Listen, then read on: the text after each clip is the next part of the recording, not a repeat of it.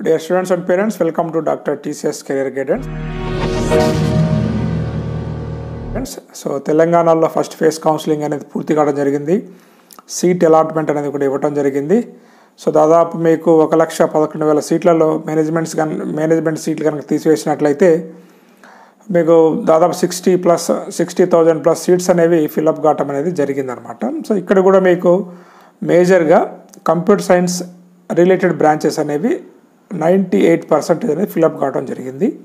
ECE వచ్చేసి ఒక eighty eight percentage electrical fifty seven percentage and thirty plus percentage వచ్చేసి మీకు సివిల్ మెకానికల్ ఫిల్అప్ కావడం అనేది జరిగిందనమాట.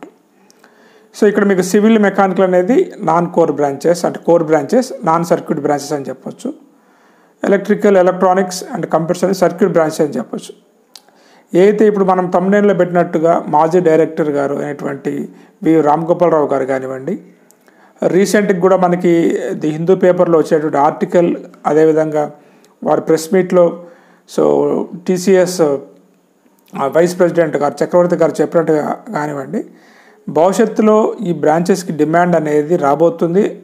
కాబట్టి ఈ బ్రాంచెస్ని కూడా నెగ్లెక్ట్ చేయొద్దు అని చెప్పేసి అంటే ఇంట్రెస్ట్ ఉన్నవారు సిఎస్సి తీసుకోవచ్చు దాంట్లో తప్పేం లేదు. కానీ అందరూ సిఎస్సి తీసుకుంటున్నారు కదా అని చెప్పేసి మిగతా వారు కూడా సిఎస్సి తీసుకోవటం అనేది కూడా అంటే వారికి సూట్ కానప్పుడు అంటే ఎందుకంటే నాకు వచ్చే మెసేజెస్లో కూడా చాలామంది టాప్ కాలేజ్లో ట్రిబుల్ ఈ సివిల్ మెకానిక్లు వచ్చినప్పటికి కూడా మేము సెకండ్ ఫేజ్కి వేరే బ్రాంచెస్ని మార్చుకోవచ్చా? కంప్యూటర్ సైన్స్ మాకు వస్తుందా? అంటే లక్ష ర్యాంకు లక్ష ఇరవై వేల ర్యాంక్ వచ్చిన స్టూడెంట్ కూడా ఈరోజు కంప్యూటర్ సైన్స్ అనేది కావాలంటున్నాడు. అది ఎంతవరకు మీకు సూట్ అవుతుంది? ఎందుకంటే రీసెంట్గా నేను ఒక కౌన్సిలింగ్ అటెండ్ చేయడం జరిగింది. తను సిఎస్సి సెకండ్ ఇయర్ చదువుతుంది స్టూడెంట్. నాకు కోడింగ్ చేయడం రావట్లేదు నాకు కోడింగ్ అర్థం కావట్లేదు సార్. ఇప్పుడు నేను వేరే బ్రాంచ్ షిఫ్ట్ కావచ్చా? నా ట్రిపుల్కి షిఫ్ట్ కావచ్చా? అని అది అడుగుతుంది అనమాట అంటే దీన్నే మీరు ముందు గమనించుకోవాల్సి ఉంటుంది. మ్యాథమెటిక్స్ స్కిల్స్ అనేది అవసరం. ఇది తెలుసుకోకుండా అందరూ సిఎస్సి తీసుకుంటారు కాబట్టి నేను కూడా సిఎస్సి తీసుకుంటా. అంటే స్టూడెంట్సే వచ్చి సెకండ్ ఇయర్ లెవెల్లో కానీ ఆ లెవెల్లో ఎక్కడో కాదు ఎగ్జాంపుల్ నా దగ్గర జరిగింది కాబట్టి మీ దృష్టికి తీసుకొస్తున్నాను. మరి పెద్దలు ఎందుకు ఇలా మాట్లాడుతున్నారు అనుకున్నట్లయితే ఏ మనకి ఒకవైపు సాఫ్ట్వేర్ రంగం అనేది ఎలా అయితే ఇంక్రీజ్ జరుగుతూ ఉందో ఇంకొక వైపు కూడా మ్యానుఫ్యాక్చరింగ్ సెక్టార్ అనేది కూడా ఇండియాలో day by day day by day central government తీసుకున్నటువంటి మేక్ ఇన్ ఇండియా కానివ్వండి స్కిల్ ఇండియా ప్రోగ్రామ్ ద్వారా అది కూడా కొంచెం ఇంక్రీజ్ అవుతూ ఉందన్నమాట. కాకపోతే అది జనాల్లోకి సాఫ్ట్వేర్ గ్రోత్ ఉన్నంత ఇది పాపులర్ అయినంత వరకు అది కాలేదు. ఫ్యూచర్లో మంచి అవకాశాలు రాబోతున్నాయని చెప్పేసి త్రిపుల్ ఐటీ మాజీ డైరెక్టర్ గారు కానివ్వండి చంద్రశేఖర్ గారు కానివ్వండి వీరు చెప్పేటువంటి అంశాలు. అందుకని వారు కూడా ఈ మధ్య కాలేజ్కి వెళ్ళి కలిసినప్పుడు కూడా అక్కడ ఇంటేక్ కనుక చూసి వాళ్ళే ఆశ్చర్యపోవడం జరిగింది. ఇవి వచ్చేసి మీకు మూడు వందల వరకు ఇంటేక్ ఉన్నట్లయితే ఈ కోర్ బ్రాంచెస్లో ముప్పై నలభై అలాంటి ఇంటేక్ చూసి వారు కూడా ఆశ్చర్యపోవడం జరుగుతుంది అనమాట ఇదంటే సమతుల్యత అనేది దెబ్బతినే అవకాశం ఉంది. రేపు వీళ్ళు ఎక్కువైపోయి వీళ్ళు తక్కువైపోతే మాత్రము. ఎందుకంటే ఈ సాఫ్ట్వేర్ సెక్టర్ అనేది సర్వీస్ సైడ్ సెక్టార్ కాబట్టి ఇది వచ్చేసి కోర్ సెక్టార్ కాబట్టి చాలా ప్రాబ్లమ్స్ వచ్చేటువంటి అవకాశం ఉంది. ఇంత గ్యాప్ అనేది ఎందుకు తీసుకొచ్చారు? అయితే ఏఐసిటీ కానివ్వండి యూనివర్సిటీస్ కానివ్వండి విచ్చలవిడిగా ఇన్ని సీట్లు ఎందుకు ఇచ్చారనేది వారు మాట్లాడటం జరుగుతూ ఉంది. అదేవిధంగా ఎన్నో సంవత్సరాలుగా సర్వీస్ చేస్తున్నటువంటి ఫ్యాకల్టీ అయితే ఈరోజు కోర్ బ్రాంచెస్లో పిహెచ్డీలు చేసి లేకపోతే మంచి ఎంటెక్లు చేసి ఎక్స్పీరియన్స్ ఉన్న ఫ్యాకల్టీ అంతా కూడా ఈ రోజున వారికి డిమాండ్ లేక వారిని తీసివేయడం జరుగుతూ ఉంది. వారు కూడా వేరే ఫీల్డ్కి షిఫ్ట్ కావడం జరుగుతూ ఉందన్నమాట. సో అంటే ఒక ఇంత డైనమిక్ సిచ్యువేషన్ అనేది తీసుకురావడం అనేది కరెక్ట్ కాదు.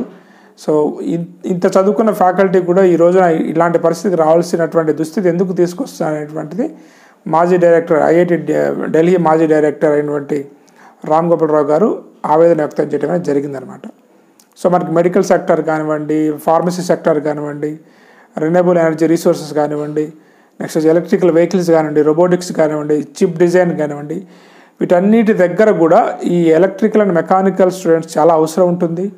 రియల్ ఎస్టేట్ అనేది కూడా కన్స్ట్రక్షన్ అనేది కూడా ఇన్ఫ్రాస్ట్రక్చర్ డెవలప్మెంట్ అనేది ఇండియాలో ఇంకా జరగలేదు.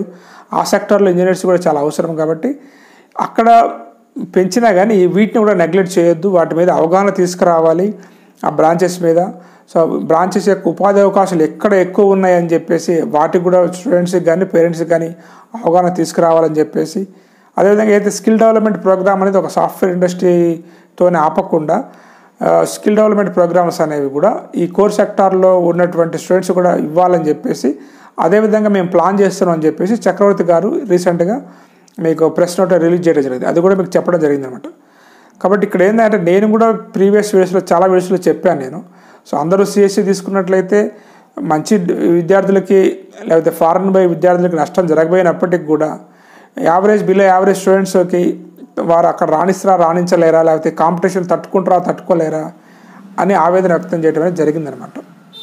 సో కొంతమంది మిత్రులు కూడా సో అబ్రాడ్ వెళ్ళే వారికి ఇబ్బంది ఏం లేదు అక్కడ ఆర్టిఫిషియల్ ఇంటెలిజెన్స్ వస్తే ఉన్న ఉద్యోగాలు ఊడిపోతాయి కదా అని చెప్పేసి అనుకున్నారనమాట. సో ఈ మనకి డెవలప్మెంట్ అనేది కనుక చూసుకున్నట్లయితే సో ఆపర్చునిటీస్ అనేవి ఒకప్పుడు ఉన్న టెక్నాలజీస్ కానీ ఇప్పుడు లేవు. కొత్త కొత్త టెక్నాలజీ వచ్చినప్పుడు ఆపర్చునిటీస్ కూడా పెరుగుతా ఉన్నాయి అనమాట రేపు ఆర్టిఫిషియల్ ఇంటెలిజెన్స్ వచ్చినా కానీ ఇండియాలో ఉద్యోగాలు పోతే మరి అమెరికాకి వెళ్ళిపోతారు కాబట్టి వాళ్ళకే ఇబ్బందులు అంటున్నారు. ఆర్టిఫిషియల్ ఇంటెలిజెన్స్ అనేది అమెరికాలో యూటిలైజ్ చేస్తారు ఇండియాలో కంటే ఇప్పటికి కూడా.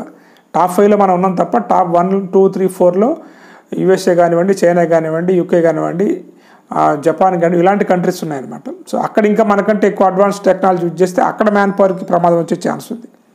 కాకపోతే ఇక ప్రస్తుతానికి ఏందంటే ఒక బ్రాంచ్కి ఇన్ని పేర్లు పెట్టి ఇంత ఇంటేక్ని పెంచేసి అందరికీ ఆ బ్రాంచ్ వైపే అందరినీ మళ్ళించడం అనేది విద్యార్థులకి ఎటువంటి కొంచెం మంచిది కాదేమో అని చెప్పేసి పెద్దల అభిప్రాయం.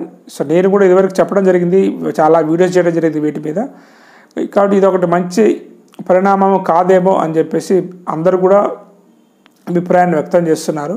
కాబట్టి ఎవరైతే స్టూడెంట్స్ ట్రిపుల్ కానీ సివిల్ కానీ ఎలక్ట్రికల్ కానీ ఏవైనా ఎలక్ట్రానిక్స్ కానీ ఎలక్ట్రానిక్స్ కొంచెం బెటర్ ఉంది. కానీ మరీ ఈ త్రీ బ్రాంచెస్ అనేది ఇంటేక్ అనేది తీసేసి ఆర్టిఫిషియల్ ఇంటెలిజెన్స్ డేటా సైన్స్ అని CSC with artificial intelligence data science అని మళ్ళీ ఆర్టిఫిషియల్ ఇంటెలిజెన్స్ సపరేట్ అని చెప్పేసి ఇట్లా డిఫరెంట్ డిఫరెంట్ బ్రాంచెస్ తీసుకురావటం అనేది ఆపర్చునిటీస్ కల్పిస్తున్నామని మీరు స్టూడెంట్స్కి చెప్పుకున్నప్పటికీ బయటకు వచ్చిన తర్వాత వారి లైఫ్ అంతా ఒకే వైపు ఉంటే ఇబ్బంది అవుతుందేమో అని చెప్పేసి పెద్దలు అనేది వారి యొక్క అభిప్రాయాన్ని వెల్లడిస్తున్నారు కాబట్టి ఇటువంటి సందేహాలు మీకు ఏమన్నా ఉన్నట్లయితే మీరు కూడా ఈ బ్రాంచెస్ గురించి ఆలోచించవచ్చు. వాటికి ఫ్యూచర్ ఉందని కూడా పెద్దలు అనేది చెప్పడం జరుగుతూ ఉంది. డెవలప్మెంట్స్ అనేవి కూడా మీరు చూస్తుండే. ఎలక్ట్రికల్ వెహికల్ సెక్టర్లో కానీ సోలార్ సెక్టార్లో కానీ రోబోటిక్స్లో కానీ. వీరందరి అవసరం. వీ వీరి అవసరం ఖచ్చితంగా ఆర్టిఫిషియల్ ఇంటెలిజెన్స్ కంప్యూటర్ సైన్స్ అవసరం ఎంతైతే ఉందో వీరి వీరికి కూడా ఈ కోర్ బ్రాంచ్ యొక్క అవసరం అనేది అంతే ఉందని మీరు అందరూ గుర్తించాలి. కాబట్టి ఈ బ్రాంచెస్ చేసినటువంటి మీ అందరికీ కూడా మంచి ఫ్యూచర్ ఉంటుందని పెద్దలు చెప్తున్నారు. సో కాబట్టి మీరు ఎవరైతే సెకండ్ ఫేజ్లో లేకపోతే ఇంకా ఆంధ్రాలో ఇంకా స్లాట్స్ అనేవి బుకింగ్ జరిగినాయి కానీ ఇంకా వెరిఫికేషన్ కంప్లీట్ అయింది వెబ్ ఆప్షన్స్ పెట్టుకోలేదు. వీటి గురించి కూడా ఆలోచించండి స్టూడెంట్స్ అందరూ కూడా ఒకవైపు వెళ్ళటం అనేది కూడా కరెక్ట్ కాదు. తీసుకుందాం అనుకున్న వాళ్ళు కూడా తీసుకోండి.